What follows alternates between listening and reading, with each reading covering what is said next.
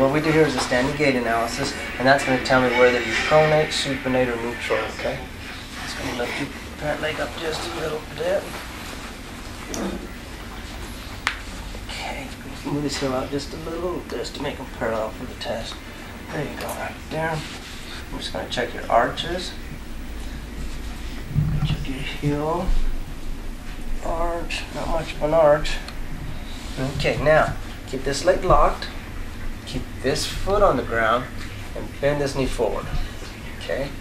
And there's no way I can make a mistake in this test because if you can tell, that's the finishing of your run. Okay, now I'm going to find the middle of your knee and I'm going to draw a straight line down. And see where you come here? You should be over this toe a little bit more. See this one? Okay, find the middle of your knee. Straight down. Eh. And see where you come right there? You should be over here. So you pronate, and then I'm going to explain that for you, okay?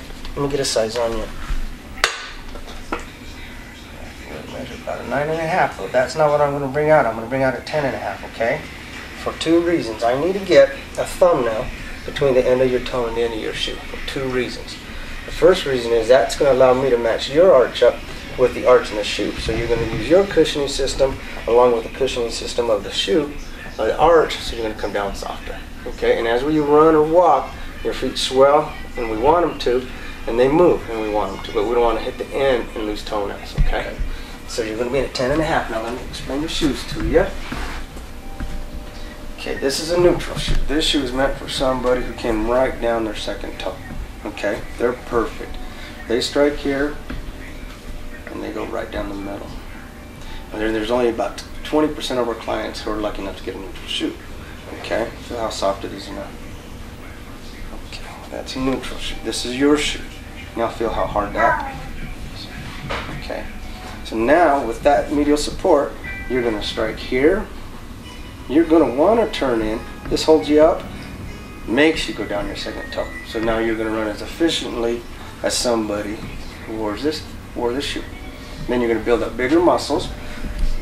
And then we're going to stay away from little ligaments and tendons in your feet, your knees, your hip, and lower back. Okay?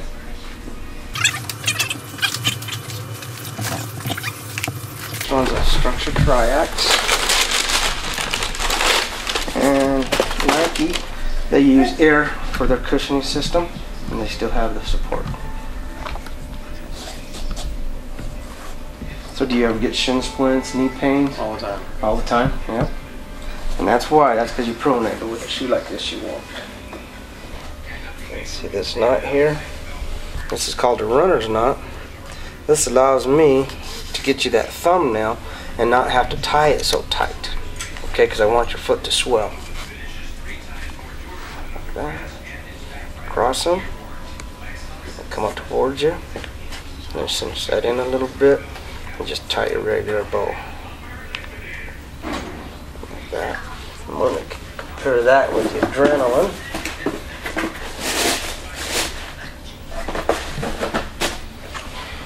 And this is a Brooks. And Brooks, they use gel, not gel pads, gel chambers through the shoe, kind of like this through the shoe. And these are both going to fix you, but I want the one that feels better on your foot, okay?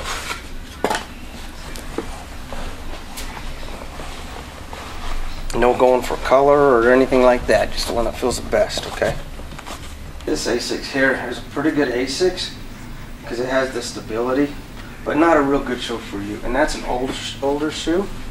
And the thing with us, we don't sell old shoes, just brand new shoes. So you're guaranteed four to 600 miles when you get a brand new shoe. You can go to a big box store, get a shoe like this for probably not in this caliber, but a good running shoe. You know how they always have sales for 30 $40 at big box stores. Mine are never on sale because they're always brand new, so you're guaranteed four to 600 miles. And a big guy like you, you're going to be changing your shoes, training for a marathon. You're probably going to be in here probably your next pair of shoes probably in about five to six months, and you'll feel it start to go over again. But don't let it go that far because I don't want you to get shin splints so bad that you get a stress fracture. So the